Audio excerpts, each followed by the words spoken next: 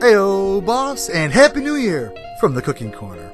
We had last week off, per uh, it was our holiday week off, I guess. Plus, Chef was getting his kitchen redone. He tore it apart and took some wallpaper down, did some painting, uh, switched out some electrical outlets, some switches, did a lot of great stuff, and he has some more to do.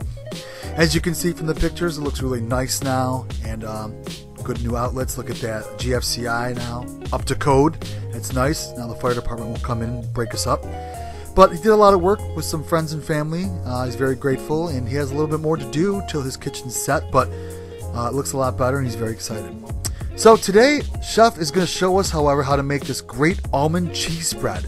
Perfect for a New Year celebration, very simple, and no uh, prep time or oven or cooking time. Let's go ahead and get cooking. The first thing you're going to do is start off with a small bowl and you're going to add your cheese. This is just some sharp cheddar cheese. It's it's white. And then a couple tablespoons of some mayonnaise. You're going to add a little bit of onion powder. Just a pinch of pepper. A couple dashes of some hot sauce. Some chopped up green onions. And of course, your sliced almonds. I'm going to give this a good stir in black and white for some reason. Don't forget, this recipe will be down below. And then he's going to go ahead and cover this and put this in his fridge. You can put this in your fridge for about a half hour, hour, up to four hours. Pop that in the fridge. And then what'd you forget? Oh, yeah. Well, if you're going to wait around, might as well grab the wine. After that, just take it out and serve it up with your favorite crackers.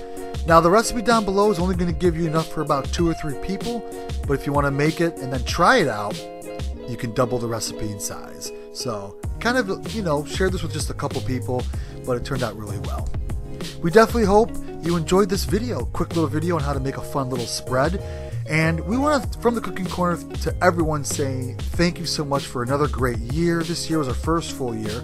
And we want to thank everyone for all their love and support, our other fellow YouTubers, friends, family, and everyone that's come along the way. We've had a great time making videos. We definitely hope we've helped.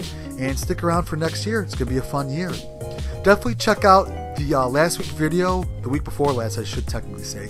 It was how to make a uh, chocolate cream pie. Great how-to videos are coming along too. And don't forget to check out our blog for all our recipes. Have a fun and safe New Year, everyone. Happy New Year. Cooking should be fun. Have fun doing it.